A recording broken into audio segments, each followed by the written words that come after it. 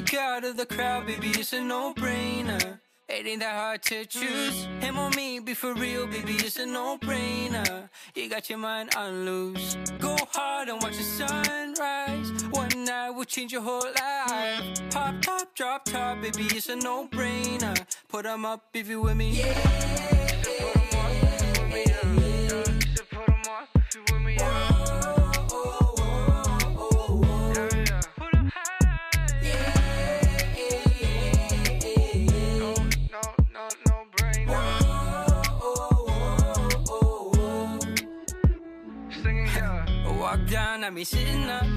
Merhaba, ben Esin Kocakuş. Kanalıma hoş geldiniz. Bugün sizlere uzun zamandır sabırsızlandığım ama hobi odamı bir türlü düzenleyemediğim için gerilerde bırakmak zorunda kaldığım harika bir takım dikimi göstereceğim. Bu takım son zamanlarda Instagram butiklerinde oldukça revaçta. Çeşit çeşit farklı kumaşlardan dikildi. Sukuba kumaş kullanıldı. Sukuba kumaşın diğer adı dalgıç kumaştır. Eğer almak isterseniz kumaşçılarda ararsanız dalgıç kumaş olarak ararsanız çok daha kolay olur e, bulmanız. Çünkü scuba kumaş dediğinizde e, normal metre işi satanlar kalabiliyor neydi o diye bilmeyebiliyorlar. Bunun ayrımını da söylemiş olayım. Dalgıç kumaş olarak arayın. Metre işi olarak ararsanız. Bunun dışında farklı etek takım bluz dikecek olanlar farklı farklı kumaşlardan da bu takımları yaptılar. Ama ben çok daha farklı bir kumaşla yapacağım. Çünkü elimde bulunan ve oldukça uygun fiyata aldığım bir kumaşım var. Hemen kumaşımı nereden aldığımdan da bahsetmek istiyorum sizlere. Eğer Ankara'daysanız sizler de sık sık gidip kontrol edip uğrayıp e, varsa bu kumaşları temin edebilirsiniz. Çünkü her zaman çok uygun fiyata satılıyor. Burası malların satıldığı yer aslında devlet eliyle satılan, satışı yapılan bir mağaza. Adı Tasiş. Ee, Ankara Ulus'ta bulunuyor. Melike Hatun Camii'nin altında. Zaten çevre esnafa sorarsanız sizleri Tasiş'in yeni yerine yönlendirirler. Çünkü daha öncesinde farklı bir yerdeydi. Çok kısa bir süre önce buraya taşındı. Eğer bakmak isterseniz ve farklı farklı kumaşlar e, temin etmek isterseniz ara ara ara ara uğrayın derim. E, çünkü çok sık bitiyor ve ben e, kendim gidemesem de eşimi gönderiyorum. Yeni kumaşlar gelmiş bir, bir bak diye.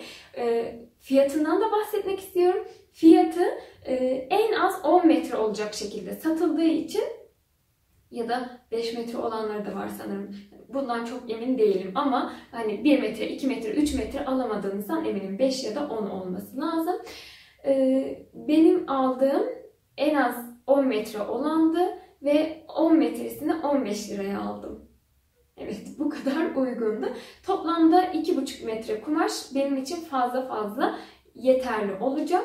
Ee, eteğimin kalan kısmından rahatlıkla üst bedenimi çıkarabileceğim. Yani aslında 2 metreden tamamen çıkarmış oluyorum ama sizler hani hata yaparsınız, düzenleyemezsiniz. Belki düşüncesiyle bu yüzden 2,5 metre diyorum kumaşına.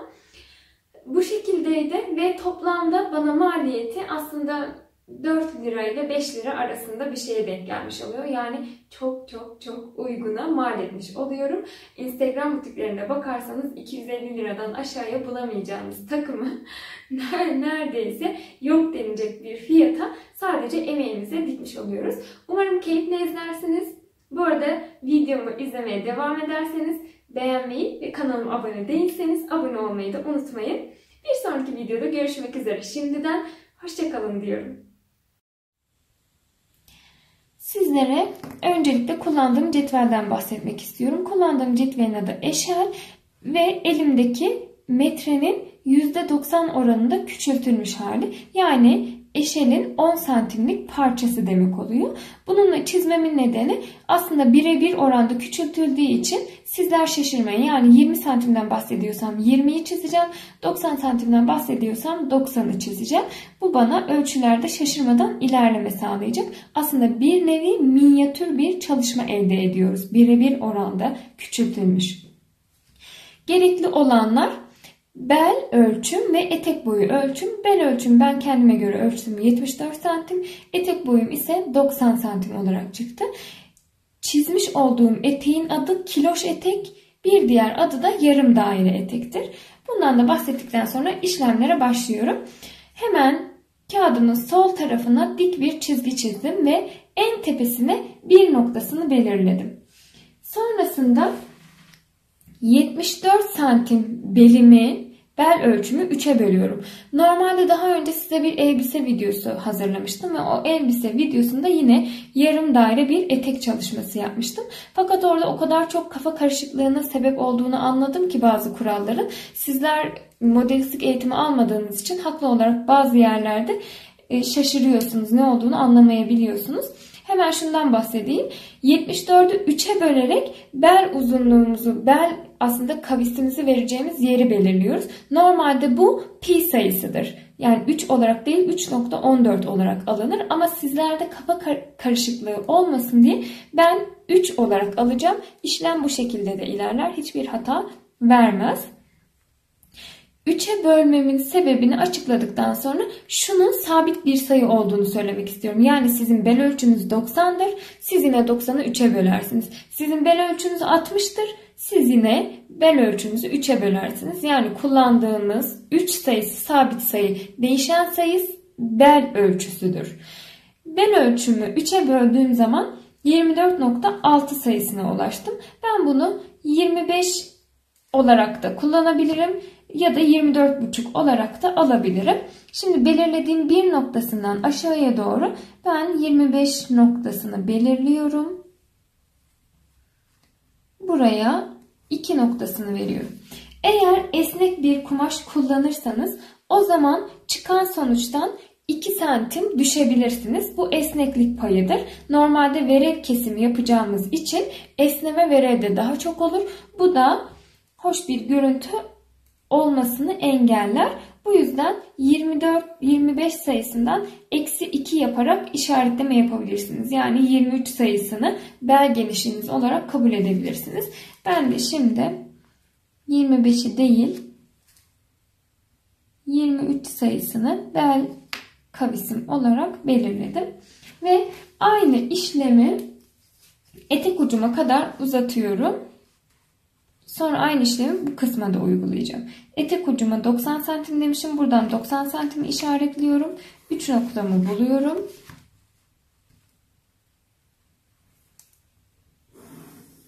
Bu noktamı da işaretliyorum. Buradan 23 santimimi buluyorum yine.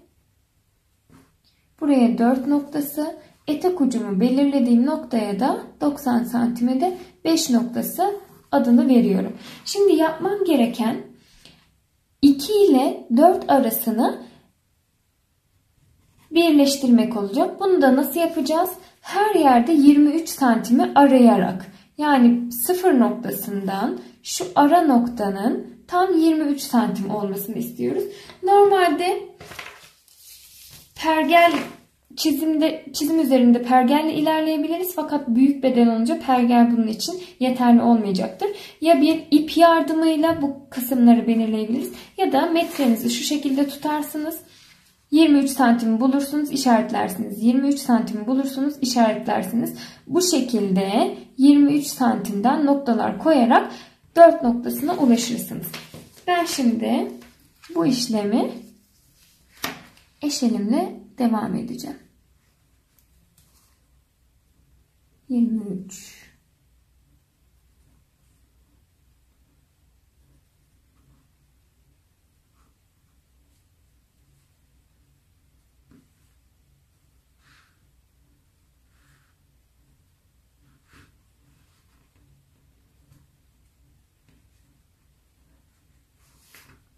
Son nokta da burası.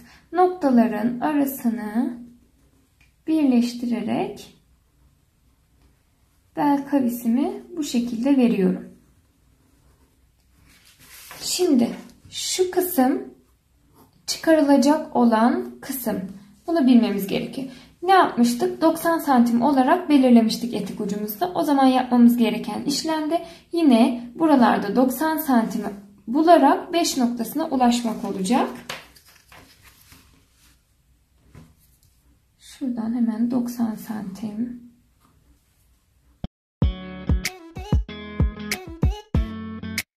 Ara noktaları birleştirerek 3 noktasından 5 noktasına ulaşıyorum.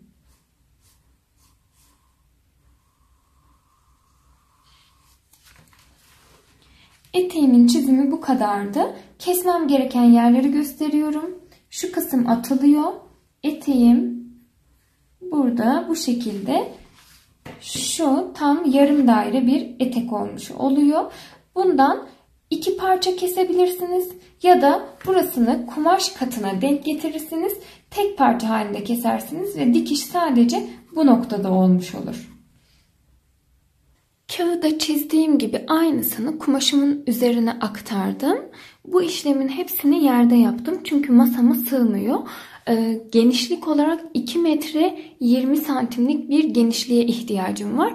Dolayısıyla masamdan oldukça büyük. Bu yüzden yerde yapmanız sizin için de size kolaylık olacaktır. Kağıtta gördüğünüz tüm çizimin aynısını büyük olarak kumaşımın üzerine aktardım. Çizim bu şekilde tamamlanmış oldu. Şimdi kesimini yapacağım ve eteği çıkarmış olacağım. Hiçbir farkı olmadan burada gördüğünüz tüm işlemi aynı şekilde uygulamış bulunuyorum. Şu kısmı kat kısmı, bu kısmı açık olan kısmı kumaşımı şu şekilde katlayarak iki kat kumaş elde ettim. Hemen köşe kısmından onu da göstereyim. Bakın birinci kat ve ikinci kat yerde ortadan ikiye katladım. İki kat olacak şekilde kumaş elde ettim ve üst kısmına çizim yaptım. Şuradaki kısım tek dikilecek olan kısım bu da arka noktasına denk gelecek. Sizler dilerseniz iki kısmını da açık bırakıp dikebilirsiniz. Yerinden özellikle kaldırmadım. Kestikten sonra kenardaki kumaşı kaldırdım ve eteğimin görüntüsü bu şekilde. Çok basit bir kesim yöntemi var. Ayrıca dikişi de çok basit oluyor. Sadece tek dikiş ve kemer takmaktan ibaret. Şimdi size kemer takma işlemlerini ve kemeri nasıl kesmemiz gerektiğini anlatacağım. Eteğim bu şekilde hazır. Görüntüsü bu şekilde kaldırdığım zaman şöyle dökümlü, çok şık bir etek sahibi olacağım. Şimdi size burada bir püf nokta vermek istiyorum. Eğer eteğinizin kumaşı elinizde yetersizse, mesela benimki 2 metre 10 santimdi ve 2 metre 10 santimden eteğimin istediğim boya ulaşmasını istediğim için şu yöntemi kullanacağım. Kemer kısmını daha yüksek kullanacağım ki etek boyunu uzatmış olayım. Kemeri e, normalde isterseniz 4 santim bitmişten kullanabilirsiniz. Yani toplamda 8 santim kesersiniz, 2'ye katlarsınız. 4 santim burada kalmış olur. 1 santim de payın içine girer ve 3 santim bir kemer elde etmiş olursunuz. Fakat dediğim gibi kumaşınız yetersizse ben biraz daha uzun istiyorum derseniz kemer kısmını oldukça geniş tutarsınız. Eğer elinizde varsa geniş lastik de kemer kısmının içine koyarak burada daha kalın sert bir e, doku elde edebilirsiniz ve giyinip çıkarırken lastikli olduğu için çok rahat esner. Şu an kullanmış olduğum kumaş da oldukça esnek bir kumaş. Yani giyinip çıkarırken bana hiçbir sıkıntı vermeyecek. Bu yüzden özellikle bu tarz bir kumaş tercih ettim ben. Şimdi yapmam gereken buradaki genişliği ölçmek ve genişlik doğrultusunda bir parçadan e, kemer çıkarmak olacak.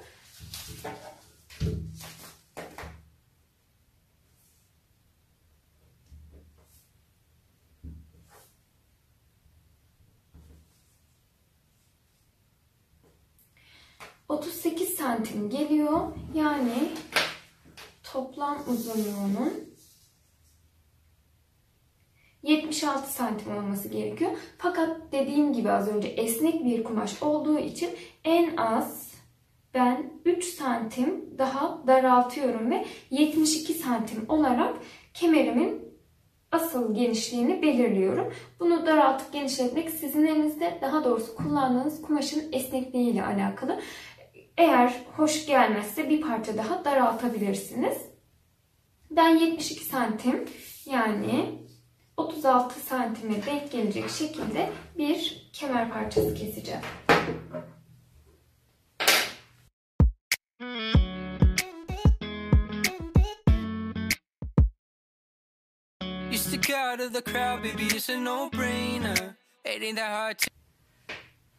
Toplam genişliği ben 10 santim olmasını istedim. Birer santim dikiş payı verdim.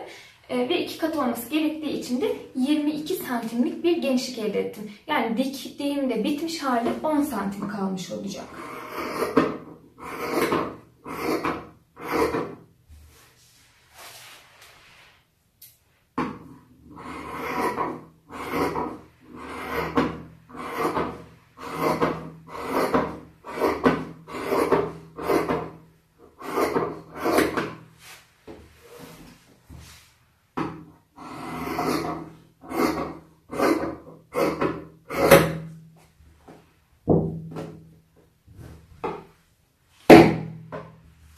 nasıl dikeceğimden bahsedeyim.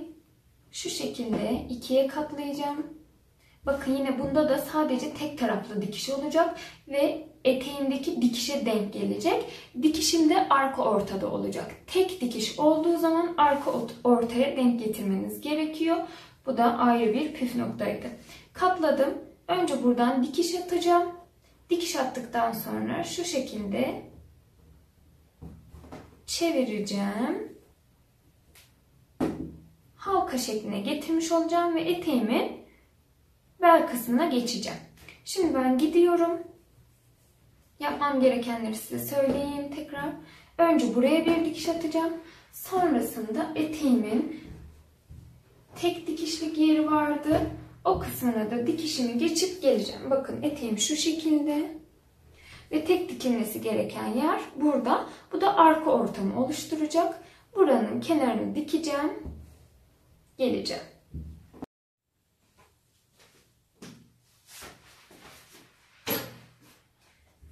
Dikişlerimi tamamladım. Bakın şurada dikişim var. Dikişim yan kısımda gibi görünüyor ama şu şekilde düzenleyip bu tarafa doğru aldığımda dikişim tam ortada kalıyor ve bu kısım benim arka orta kısmım olacak. Ayrıca şunu da belirtmek istiyorum. Ben overlock makinesiyle dikişimi yaptım. Çünkü kumaşım esnek bir kumaş. Bu yüzden overlock makinesiyle esnek olan kumaşları diktiğinizde çok daha güzel sonuçlar alıyorsunuz. Eğer e, böyle bir imkanınız varsa overlock makinesinde dikmenizi öneriyorum. Şimdi hemen kemere geçiyorum. Kemerimin de yine şu kısmını dikmiştim. Bakın şu şekilde ortaya aldım. Arka ortayla birleştireceğim. Şöyle ikiye katlayıp dikiş kısmını iç kısımda bırakıyorum.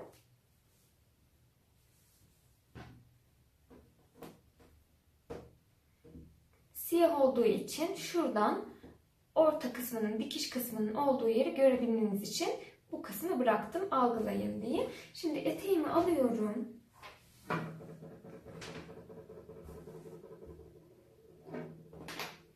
Arka ortamla eteğimin arka ortasını birleştiriyorum kemerimin.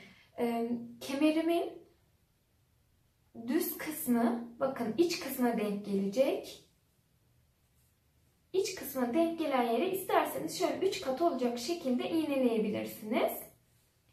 Tamamen çepeçevre olacak şekilde iç kısma yerleştirip halka şeklinde bu kısmı şöylece dikeceğim. Yine tüm dikim işlemini overlock makinesiyle yapacağım. Sonrasında etek ucuna yine overlockla kenarlarını geçebilirsiniz. Sonrasında da düz makineyle yarım santimden katlayarak kıvıracağım. Daha fazla genişlik bırakmıyorum. Çünkü ne kadar genişletirseniz bu kumaş e, yarım daire olduğu için kesimi yuvarlanarak geliyor ve e, kıvrımlarda kötü bir görüntüye sebep olabiliyor. Ne kadar ince kıvırırsanız o kadar güzel sonuç alırsınız. Bir diğer püf noktası da buydu. Şimdi dikişe geçiyorum. Kameramı mümkün mertebe görebileceğiniz şekilde ayarladım. Az önce gösterdiğim gibi bakın şu şekilde yerleştiriyorum ve makinemin altına ilk birbirine birleştirdiğim yeri koyarak başlıyorum.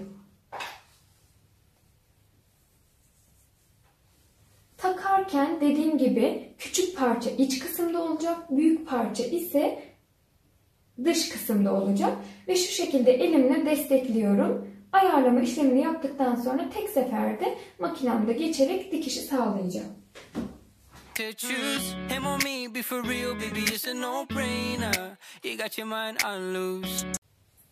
Püf noktası arka ortaların birbirine denk gelmesiydi ve gayet muntazam bir şekilde kemerimi takmış oldum. Şimdi etek ucunun overlock'unu da çekerek overlock makinesindeki işimi bitirip düz makineye geçeceğim.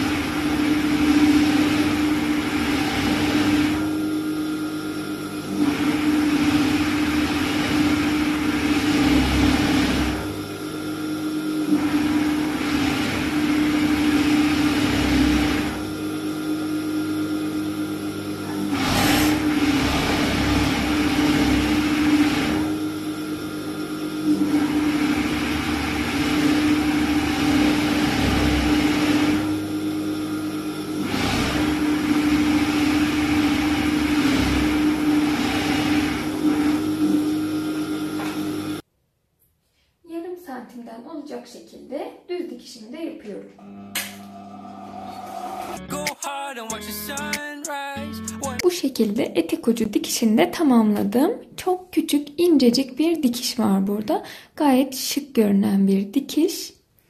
Eteğim tamamlanmış oldu.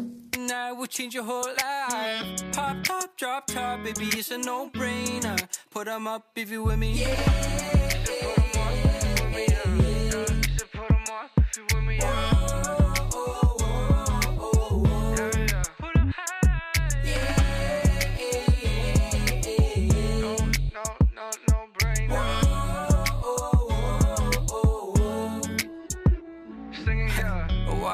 Up.